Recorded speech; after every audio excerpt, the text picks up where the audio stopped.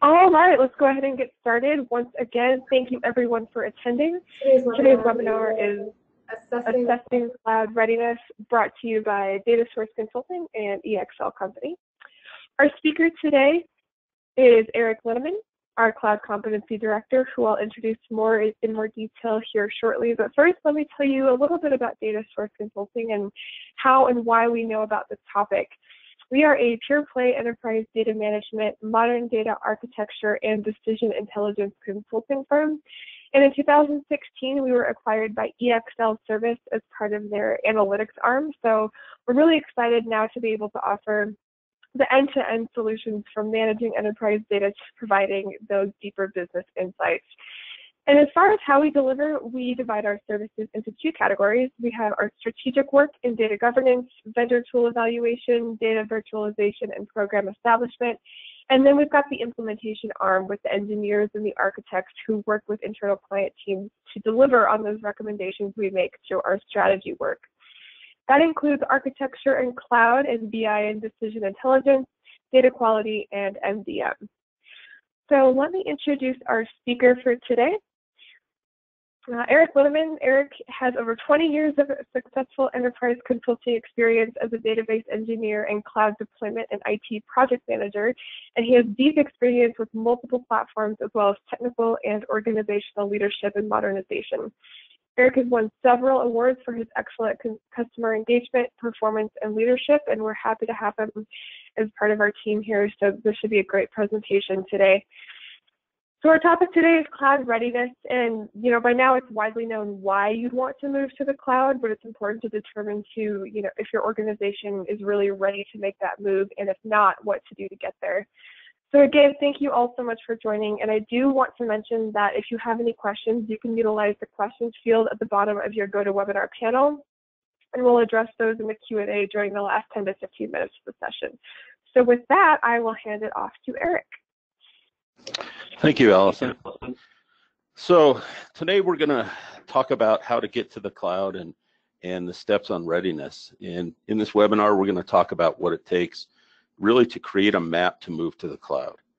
Uh, today we use our phones with tools such as Google Maps to find out where we're at, ways to find out how to get where you want to go, and then Uber to see where our driver is and how long until she gets here. The USGS still teaches a fantastic course on, on the national map right here in Denver. So maps are essential. Uh, we all need and use maps to get where we're going, and the cloud is no exception. You have to begin somewhere, and in this webinar, we're going to discuss how we'll build a map to see if you're ready to go to the cloud. We've built our approach from a number of successful cloud migrations for our customers, from finance to real estate, insurance, and consumer services, our methodology integrates the lessons we learned on these migrations. So the Oklahoma land rush of 1889 was the first land rush here in the U.S. in what's called the unassigned lands. The land run started at high noon on April 22nd, uh, 1889, so really close to 150 years ago, 140 years ago. An estimated 50,000 people lined up for their piece of uh, available 2 million acres. We have to acknowledge that this land was taken from a number of Indian tribes, including the Choctaw, Creek, Cherokee, Chickasaw, and other Plains tribes. But moving to the cloud is a lot more ethical, and people are rushing to get in the cloud. A number of people entered the unassigned lands early and hid out until the official time and grabbed some of the most valuable homesteads. This is where we get the term Sooners. Today, we call these people who jumped in the cloud early pioneers. Going uh, first brings some risks, which are listed on this slide, but the pioneers help teach us how to build our map, and the map's important for a number of reasons. First, the cloud is uncharted territory for some organizations, and these lessons learned can avoid a lot of problems. Secondly, the cloud is priced differently. In fact, almost the entire economics of the cloud is different from traditional IT. The cloud removes the economics of scarcity. You need more disk for the database, you just take it. But we have to avoid the model of the college student with mom and dad's credit card. Uh, the topologies, services, operations, and security are all a bit different from traditional IT. So preparing for this and building your map is the responsible thing to do. We'll go into some more detail on that. And then finally, we remove fear by preparation. So DataSource has a cloud readiness assessment to determine your readiness for the cloud and build the map that leverages our experience, best practices, and proven expertise in delivering the cloud successfully. So why move to the cloud? Well, coming back to the Lewis Carroll quote on the first slide, I don't see how he can ever finish if he doesn't begin. You begin by understanding the motivation to move to the cloud. We do this for a couple of vital reasons. One, we need to know how to judge and make decisions based on the business drivers. Admittedly, there are some R&D shops which are looking at the cloud purely from a learning and experiment basis. But for everyone else, what is driving the move to the cloud? Our customers have wanted solutions that align with extreme seasonality, such as tax filing, look for solutions to present data to partners without allowing access to source systems behind a firewall, and modernization to a modern data platform that is 100% cloud-based. The cloud is an economic model implemented by software, services, and process. We absolutely need to ensure that this new economic model is acceptable to the business since we'll be spending money in a very different way. We need to know when we're done. This is pretty important. It may be done with a phase of migration or the whole project. Again, this has to align with the business goals that drive the movement to the cloud. And you can see a list of, of some factors in here that come into play, but your recipe will likely involve more than one of these factors listed here, and likely ones that we have not listed. This needs to be understood from the start. It may change over the lifetime of a project, but to paraphrase Lewis Carroll, you need to, you need to know how and where to start in order to finish. So what we're going to talk about today is five factors to success, and we've our methodology is organized around this, and this is how we're moving customers to the cloud. People, we cannot do this without the right people with the right skills and the right training. Don't forget that the people who use your cloud solution will need to be trained and support this change also. Your IT staff needs to have some new skills and then likely a realignment from their current role to the new one based on the cloud solution. Process. Uh, what are your overall processes that will be moved to the cloud? This includes systems that feed or consume the data, scripted processes for business continuity, maintenance, integration, and operations. We also include processes that are done by people. These need to be evaluated to see if they can or should move to the cloud. And let's be clear, not everything moves to the cloud. IT resources. Let's step back to the slide before where we discuss the reasons to move into the cloud. Imagine you have a mission critical database that resides on hardware that's going out of lease shortly.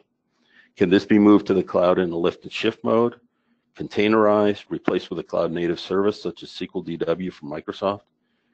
Have you simply run out of capacity in some critical resource and the cloud can remove that limitation? Remember, the cloud's an economic model in part because the vendors have removed the economics of scarcity. How do you accommodate this change wisely and not overspend? Compliance. This is becoming more and more of an issue within IT. From GDPR and California CCPA, lack of compliance comes with an ever larger penalty. I recently attended the O'Reilly Strata conference and we learned that weaponizing data and hacking is now a major concern for businesses. In 2018, Harvey Nash and KPMG surveyed CIOs. Of the top three priorities that have grown, improving cybersecurity is the largest at 23%, followed by managing operational risks and compliance at 12%. The cloud can help, but you need to leverage experience and certified architectures. And lastly, finance. We're going to talk about this in some detail. The cloud can be bought in a number of ways. Vendors like Microsoft have incorporated the cloud in enterprise agreements, which specify costs for software. Services are usually priced with a utility model. The more you use, the more you pay, but at a lower granular cost. But it's not quite that simple. There are tiers of pricing, pre-purchase options, long-term commitments, all of which affect the cost of the cloud. Add in related and hidden costs, such as the cost to take data out of the cloud and finance the cloud is complex. But the cloud also gives you new tools to help identify your cost at a finer grained level. Calculating how much does it cost to run and deliver a specific report is now much more accurate. We all want to avoid sticker shock, and a plan with knowledge helps diminish this risk. So let's start with our people. And with the people aspect of readiness, we're going to consider three groups in your plan. The first group is the current IT staff. It's no surprise that the cloud changes things for IT, whether it's skills, roles, and responsibilities, or even the do I still have a job question. The biggest impact of moving to the cloud is on the IT staff. The cloud brings new architectures, technologies, challenges, and opportunities. Let's consider a partner of data source, Snowflake Computing. Snowflake has developed a genuine data warehouse as a service in the cloud. Snowflake manages the data, optimization, operations, and availability as a benefit of their solution. So what does this mean to your DBA who no longer has to get up at 3 a.m. when you run out of log space? Who does the updates that are uh, now part of their role? This is all managed by Snowflake. So what is the DBA going to do? Keep in mind that your DBAs know the sources and uses of your data, the seasonality of the database use, such as quarter end reporting and the like. Their experience and value can now be increased by training them to do higher value tasks, such as revising schema in a more timely manner than they've been able to do in the past.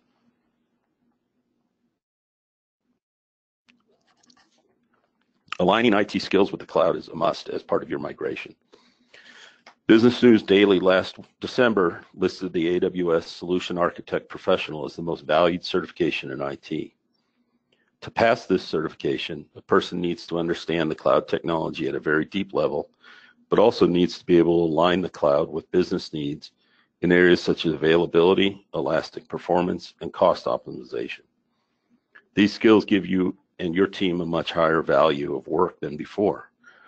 Our customers have realigned their staffs successfully to maximize the value of the cloud, but it needs to be planned, communicated, and implemented well. The second group that we're going to consider is your users. There are cloud deployments where we're just doing lift and shift and little will change from your user experience, you hope. But the cloud also provides the opportunity to integrate new technologies such as machine learning, blockchain, and vastly larger scalability than before. This will change your user experience. So how do you prep your users to be familiar with multi-factor authentication as the critical data and services are now outside of your firewall and your security needs are even higher? As part of the readiness assessment, we evaluate the scope and impact of changes to your users in cloud migration. This is likely the most visible opportunity to prove the old adage, failure to plan is planning to fail. So preparing your plan for your users is vital. And then finally, we're going to consider the stakeholders and partners. So this cl the cloud brings a level of connectivity and access that's not been available in traditional IT. We've seen businesses conform behavior to accommodate IT limitations, and the cloud in a large part removes this limitation. How prepared are you to provide your partners, suppliers, and customers a set of APIs so that their solutions will call into your cloud service? Are they ready to work with you in the cloud? Are you aware of what you need to do to ensure that your solution is secure, available, and compliant? Again, new regulations like GDPR mandate that you work in certain ways. Say that you're a company based in the US that provides a very special capability. You want to move this to the cloud and support your partner based in Germany. So now you're involved in GDPR. Can you verify that your solution meets the laws and regulations that your partner needs to be compliant with? Are your people ready and skilled on the impact of GDPR? These are important things. Processes, these are important also. Your cloud process will be a change from what your on-prem processes are. We recently completed a successful proof of concept for a customer where we moved from an on-prem hardware appliance providing data warehouse capabilities into the cloud. During the test phase, we looked closely at the process of how reporting was implemented. They did a batch export from the appliance into a file that Tableau was then fed with. This was to accommodate the current concurrent access limitations that we had in the current solution. When we connected Tableau directly to the cloud data warehouse, all the testers were able to query without limitations and had more timely data. These, these are the type of changes that the cloud will bring. But also with these changes, it mandates that you review your processes. Are your processes built to conform to technical limitations? Are they meeting the needs of the business now and can they in the future? Can they scale to meet the anticipated needs and growth? If so, is the scale being done from a cost minimization approach or just pure brute horsepower? What are the properties of the proprieties of the business and are we aligned in our plans? Have you sorted needs from wants and wants from likes? Have you built a roadmap based on this prioritized stack? This is where the long-term value of the cloud resides. You now have the flexibility, technology, and breadth of services to say yes to one priority without that meaning no to others, but which comes first. Another prospect, another process aspect to consider is how you will use integration in the cloud.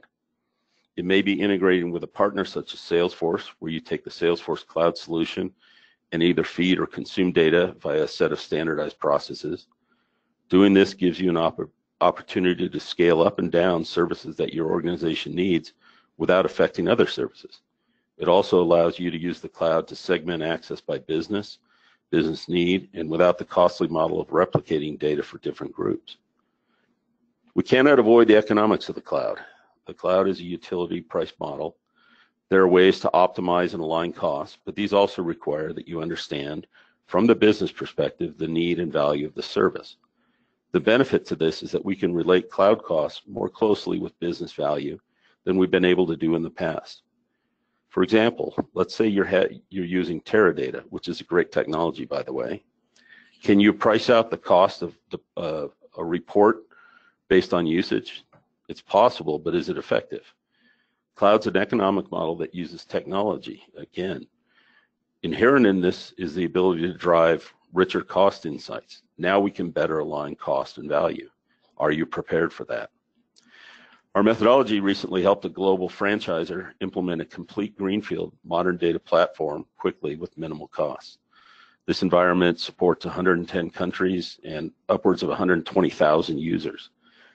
After a few months of usage and growth, we were able to advise them on purchase strategy that minimized cost and aligned well with their budgets, plans, IT operations, and seasonality.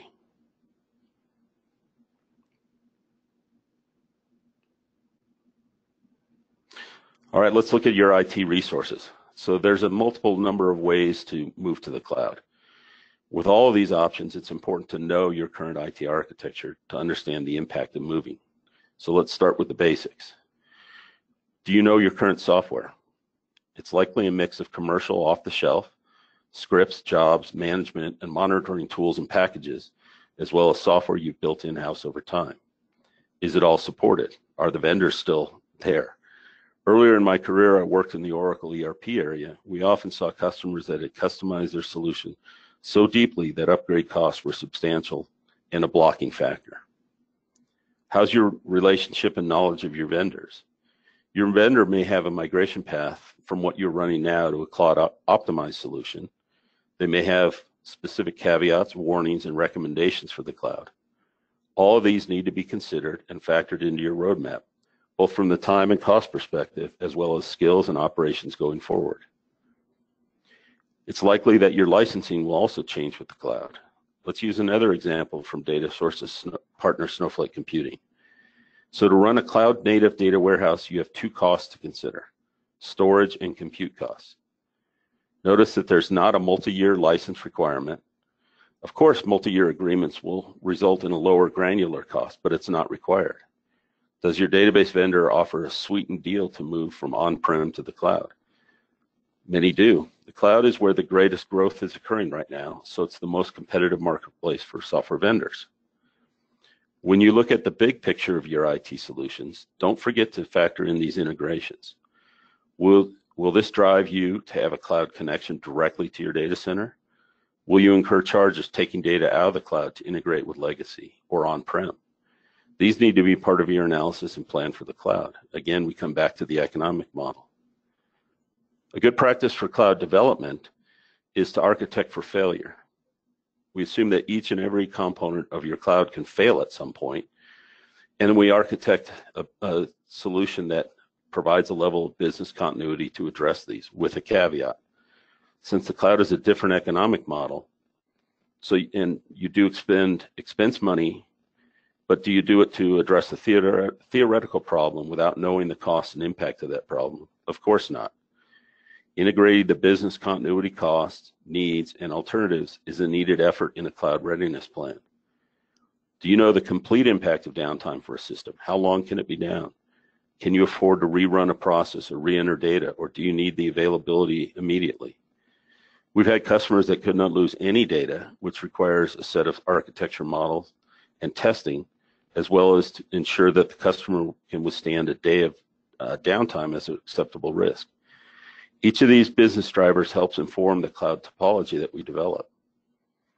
Finally, we're going to ask how is IT structured at your organization? Knowing this becomes vital with the cloud. Purchasing services in the cloud brings ongoing costs, and it's very easy to find services that have been bought by multiple parts of the enterprise without a coherent roadmap. This is costly not only from a complexity standpoint, but the costs continue month after month. It's important to understand the IT structure in order to use the cloud effectively. And then let's talk about compliance here a little bit. Can you remember the last news story about a security breach at a company that you do work with? How many users were exposed? Millions, tens of millions? What data was stolen? Was your credit card number stolen? They're no longer surprised. We have an obligation to secure our data, who can and how it is accessed, and how we prevent these issues. Recently at the Strata conference in San Francisco, keynote speakers had a consistent theme. The risks and impacts of your data and process are more vital than ever. From state actors to organized groups of hackers, our data is at risk. This is an ongoing effort to secure access, but it starts with an initial plan. Now, ad adaptations of this plan will naturally happen over time in response to changes and threats. One of our customers had a poorly designed and managed cloud solution. Hackers were able to access and consume a whole lot of cloud resources, which directly translates into a large cost. So we implemented a robust, tested security architecture and put an end to that. Adapting this defense in depth is now part of their culture and operations, and it's a big part of our methodology in preparation for the cloud. Aligned with this is growing world of compliance. It can be compliance in the field of health with, HIP, with HIPAA, which has been with us for a long time, to the upcoming 2020 rules in the California Consumer Privacy Act. Interestingly, Salesforce.com CEO Marc Benioff says that California's new privacy law could help with the crisis of trust that exists between the tech industry and consumers. It's our responsibility to address that tech, uh, that crisis of trust in the tech industry. Our customers have faced these challenges, and DataSource has a strong data governance practice, which the cloud team works with closely to ensure the solutions meet all the compliance requirements and that our customers are well informed about the solution. With that, you have two big questions you have to ask. One, do we know what compliance means and are we ready? Because compliance is mandatory. And two, what is the cost of non-compliance? We recently were involved in an effort with a, a, group of large banks that were spearheading a project around compliance. Cost of compliance and banking regulations was estimated at $24.2 billion annually. That's a lot of money. While the cost of compliance is high, the cost of non-compliance are even higher. GDPR penalties can be as high as 4% of your annual revenue per incident. Factor in the loss of goodwill and building compliance in your cloud roadmap is a must do. So let's let's take a look at the last facet here, which is finance. Cloud's an economic model imp implemented via technology. You buy the cloud differently, than you do traditional IT. You spend differently, your costs are different. If we look at the typical model of how you buy a database, you evaluate and purchase hardware, software, networking, storage, and other things. These are usually capitalized costs. The process of doing capital expenditures is complex and slow as it should be. These are long-term assets and purchasing them takes time. So let's talk about a cloud model. Let's say you want to have a data warehouse in the cloud and you're a customer on Azure. The Same technical planning comes into play, but the purchase is very different. Takes only minutes and the costs are expense and ongoing. Microsoft provides SQL Data Warehouse as a service that you literally can spin up in a few minutes. The barrier to entry has gone away from an initial cost perspective, but the ongoing costs are now very different and very important. One of the trends that we're seeing with our customers is they're experiencing sticker shock in the cloud. Building a plan and, and understanding these costs, a model on how to purchase the most efficient way, and how to anticipate growth in costs should be a mandate in any cloud roadmap. It is in ours. A customer of ours was not getting the value they desired from a cloud data warehouse and was being told by the vendor to purchase more. We were able to move them to a different technical solution on the same cloud platform that gave them the performance and cost that met their budget. Staying on the same platform meant that the, the implementation and testing costs were lower. These are things that would not be possible even just a couple of years ago. Since the cloud provides an ability to evaluate costs in a fine-grained approach, we also need to look at how these costs are used by the enterprise. Is your organization using a chargeback model or wish they could, but they can't because of the complexities of capitalized costs in traditional IT? Involving the leadership from a finance part of the house is a must-have in, in your model. The licensing model can be very different or it can be very close to what you have now. Do you know the advantages of each? Are you looking at short-term surge capacity or ongoing operations? You remember earlier we asked what's your recipe in moving to the cloud? Finance needs to be a critical part of this recipe. So we'll close this facet of the roadmap by mentioning the cost prediction models that all the cloud vendors now provide. They understand the risk of unpredictable or unsupportable costs to both their livelihood and their customers.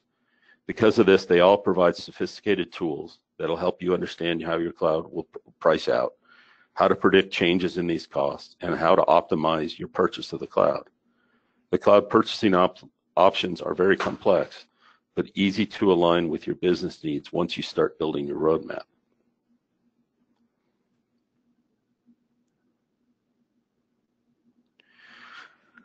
So let's bring these facets together and look at the big picture. You build your roadmap by starting with a cloud readiness assessment. This helps you answer a number of critical questions that need to be answered to have a predictable, successful migration to the cloud. These are independent of the size of your organization, although they'll be bigger the larger your organization is. We always start with a survey of the land. Where are you now? Where do you want to be? How will you get there? This includes the business needs, challenges, and long-term vision. From a technology perspective, it helps decide what goes to the cloud and what doesn't. Knowing these factors avoids cost, complexity, and risk. Keep in mind that not everything is ready to go to the cloud, but how do you decide? The plan starts with asking why. Why are we going to the cloud? The business needs to determine these goals. Do you have a capability you don't have? Do you need a capability that you don't have now? Is there a limit that you hope to overcome with the cloud? How will we determine what is a success in the cloud? This is your mission statement for the effort. To paraphrase Stephen Covey, your cloud roadmap, your cloud mission statement is not something you build overnight. It becomes a criterion by which you me measure everything. So once you know the why, your individual, your recipe, you start asking the what question.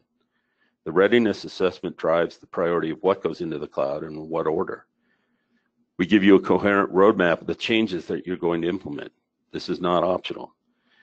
Even if this is a complete greenfield effort and no legacy items are going into the cloud, you still need to know, communicate, and implement the cloud resources in an organized way to be successful. Good example is one of our customers that does bond ratings. They've developed a very sophisticated algorithm and processes to calculate these ratings. These work well and they work very solidly meeting the needs of the business. This is part of their business, their processes, and their IT does not need to move this to the cloud for a number of factors. The readiness methodology helps them make decisions easier. The natural outcome of these two questions is the how. This is the core of the cloud readiness assessment. The detailed plan of the steps you will take to be successful to the cloud. It contains the five facets we've looked at, people, process, IT resources, compliance, and finance. Each facet is interrelated and each is important. Never forget you're building a map. When, when reality conflicts with what the map says, the map has to change. Understanding these core principles helps you build a better map from the start. The last thing to consider in using the cloud readiness assessment and artifacts is to use it to build consensus within your organization. Change is hard, and as we discussed, moving to the cloud changes some people's jobs. Socializing the cloud migration, the value to the organization, the opportunity to IT to develop new and needed skills and capabilities is a vital part of your cloud migration. We have people as the first facet of the effort and the most critical impact to your success. So this is a picture of the Malaysian Grand Prix from a few years ago. Formula One's one of my favorite sports. The knife edge of complex systems, technology, drivers, risks, weather, rewards, and a lot of luck make for unpredictable races, usually. Your cloud migration should be much more predictable, and it is with a well-formed plan. It's almost May, and May is the month of the Indy 500. So to quote Tony George, who starts the Indy 500 every year, drivers, start your engines. So it's time to start building your map, determining what it takes to be successful in the cloud and all the five facets we examined, developing your own recipe for success criteria, and move to a modern data platform. This first step is important, and we're there to help you start your engines. Now we'll open it up for any questions. Wonderful. Thank you so much, Eric. That was a great informative presentation. Um, I think we took a lot away from it. And we did have several questions come in, so let's get right to those. The first one is with the cloud, how will my development change? That is a really good question. Um, again, in a traditional IT environment, you probably have production, you have a dev, you might have an integration level, and then a quality assurance or acceptance level. But in the cloud, because of the cost model, all of these are going to incur some operational costs. So usually we, we scale out a dev environment similar to production, but at a much lower scale with much lower costs. We also, when we license, we purchase with non-production licenses of software to try and keep costs down.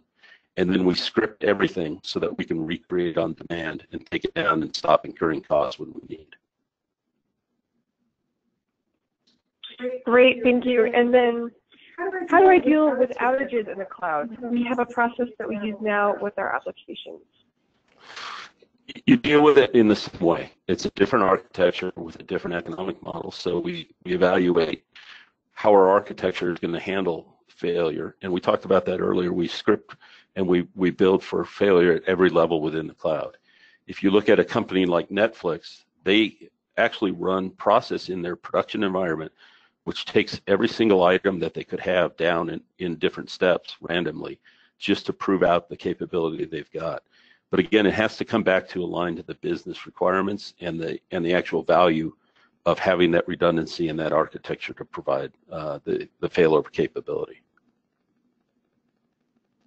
Great, thank you. Now the next one is, if I'm a network engineer, how might this change my job? Well, it might change it in a big way or it might change it in a small way. So most of our cloud migrations are hybrid, where we have uh, services and data in the cloud connecting to services and data in uh, on-prem. So from that perspective, it doesn't change. But again, now you have a connection that goes outside of your network, outside of your firewall, with some different rules and processes. So your your job as a network engineer actually expands. We get you get some new skills, some new technology, and some new capabilities. Thank you again. And then the, the fourth one here is how do I pick between Amazon and Microsoft in the cloud? Um, again, let's come back to the cloud being an economic model. So what, uh, what cloud vendor provides you the services that you feel will best align with what you need? and at a price where you can negotiate to uh, have it at the level you're at.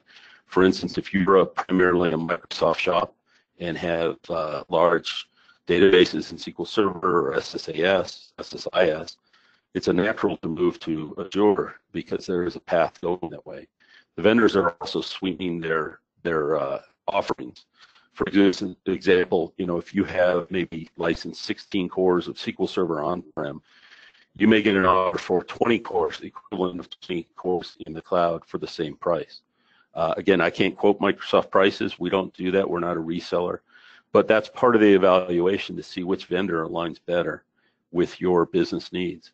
There's some other factors that come into play too. Um, you may have a preference for one vendor or the other, and that needs to be taken into account. You may have partnerships with these vendors. Uh, all of these come into play and part of the recipe that we put together.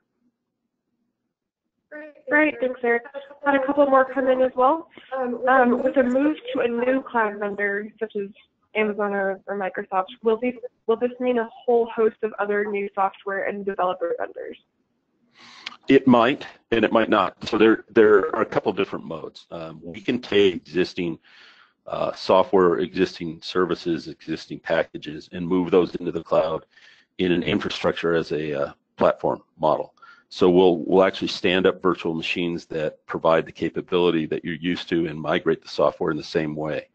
Uh, it could mean a modernization, moving from like a, uh, a data warehouse that's on-prem that you may be having vendor support moving away from to Snowflake, or it could mean moving a database from what's either a traditional uh, SQL Server or Oracle into RDS on Amazon or even a, a NoSQL database. So it, it comes down to the analysis of, of really what uh, your, your current model is and what your drivers are, either from a technical and from a business perspective. All right, thank you.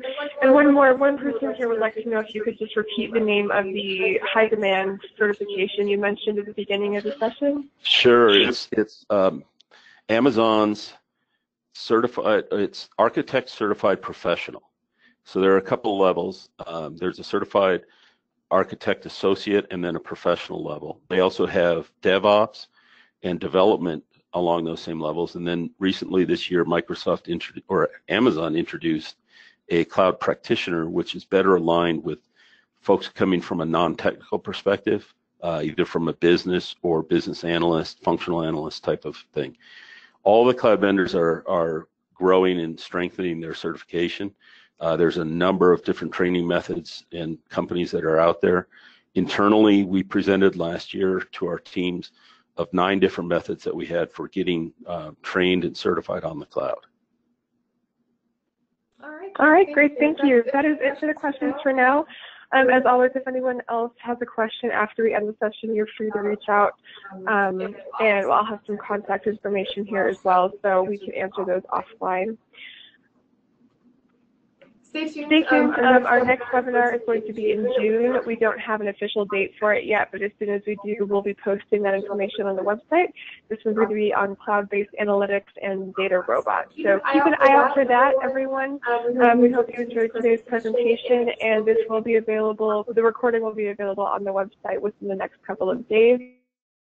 And everyone who registered will get an email with that link.